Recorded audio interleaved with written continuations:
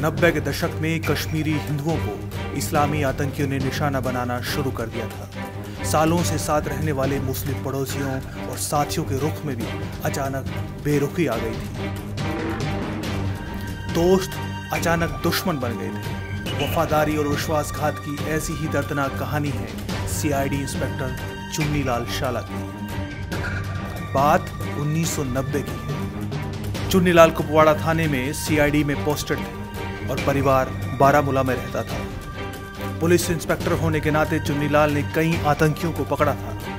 इस्लामी आतंकियों के लिए चुन्नीलाल खतरा बन चुके थे। घाटी में हालात बदतर होते देख चुन्नीलाल ने भी अपने परिवार को जम्मू शिफ्ट करने का फैसला किया।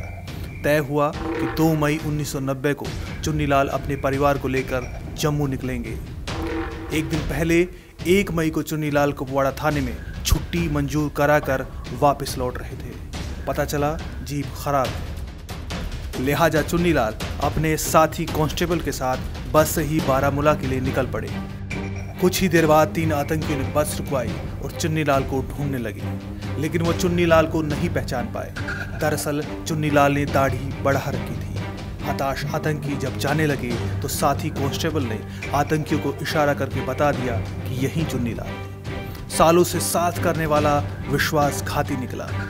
दरअसल उसने ही आतंकियों को चुन्नीलाल के बस में होने की सूचना दे दी थी। उसके बाद चुन्नीलाल पर चाकू से पहला वार भी साथी कांस्टेबल ने ही किया।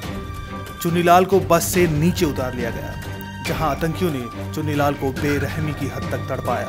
दांत और हड्डियाँ तोड़ दी गई। उसके बाद चुन्नीलाल को गोली मारकर शहीद कर दिया गया।